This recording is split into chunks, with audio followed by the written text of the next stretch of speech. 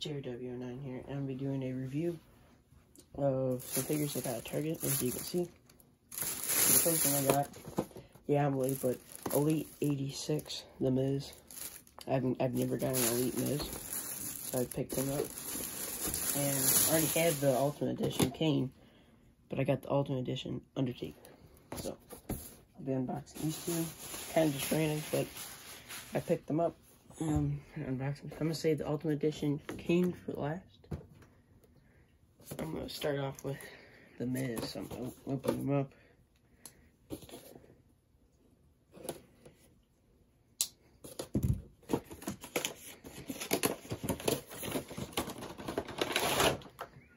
And this is like the SummerSlam. I'm not sure what this is from, but here's his little glasses. Comes with a uh, one finger up, like pointing for his entrance. Uh, for left and right hand. And then the figure himself. Really bulky jacket, but so far coming off pretty easy. Hopefully you can get it off easily. So far, and no, this is a pretty difficult jacket to get off, of course. Mattel does a really good job of making jackets that's like almost impossible to get off. There, yeah, it's super stiff. It's cool, super bulky and stiff. But otherwise, the actual gear he has looks really cool. Of course, he's not double jointed arms because this is from Elite 86 before. Double jointed arms. Pretty move. He moves pretty good. Has the upside down WWE symbol. Has like a curtain and the sunglasses on the back of his trunks. Of course, the headband comes off. Like all of them is Elites, I think. Otherwise, the head scan's really good. I'll show the other Miz figure I have. It should be here.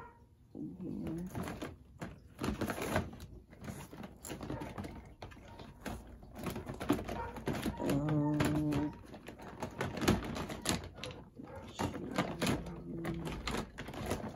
oh no.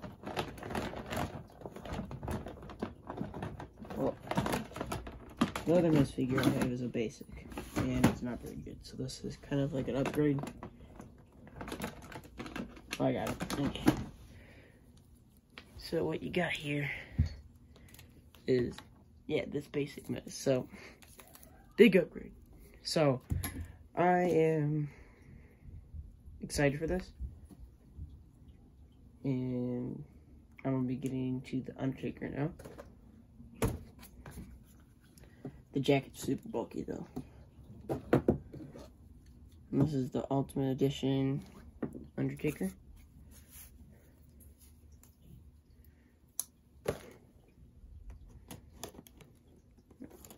It's always a bunch of tape on these.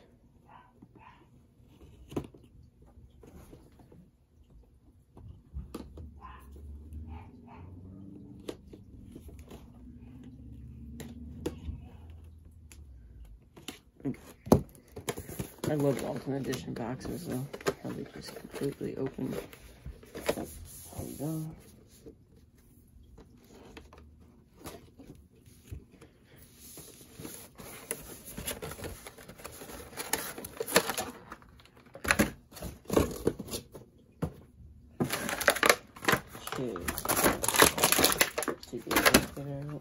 Wow, this jacket's really cool.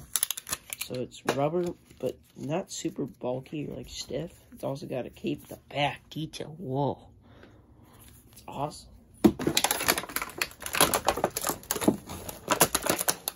With, okay. So one head, the tongue out with the eyes rolled back. Pretty cool. And just like a normal Undertaker head. You get a thumbs up and two open like cup hands and then one open like complete palm hand. The figure itself, super movable. like a rubber material, but it doesn't come off. But it's like flappy up here. Not a terrible head scan that's already on it. Elbow pads. I might honestly take off those elbow pads because you hardly even bend the arm. Like, look. Like, hardly at all. This one bends a lot easier. Otherwise, I don't like this foot thing on Ultimate Editions. They're, it's kind of annoying. But otherwise, it's a pretty cool figure. Elbow pads are good and everything. Yeah, I'm gonna pop this head off. And put on pull back here. One, that one, and I'm gonna put on his amazing, awesome jacket.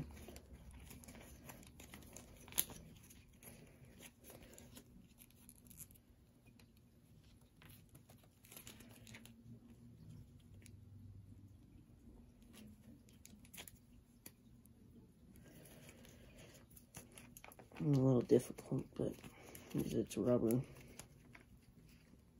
I wish it would have been more of like a softer rubber. Like the Kane cape was super easy to put on, but also the cape. At least that wasn't rubber.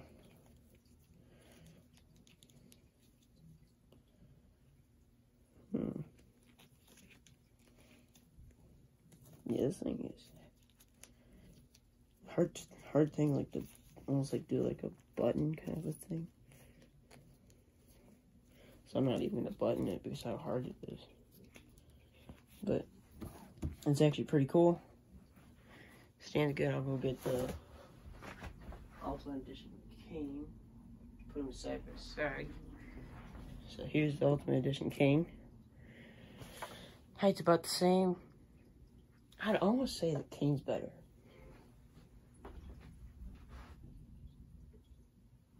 I think the accessories is better for the king. But this Undertaker is really cool as well. I'd say it's worth getting.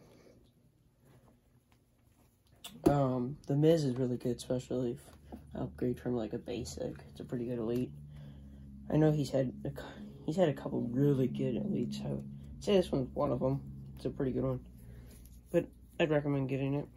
But if you like AEW, WWE wrestling figures, any wrestling, make sure to, eh, or this is Jared W09. Make sure to like and subscribe. See you in the next one.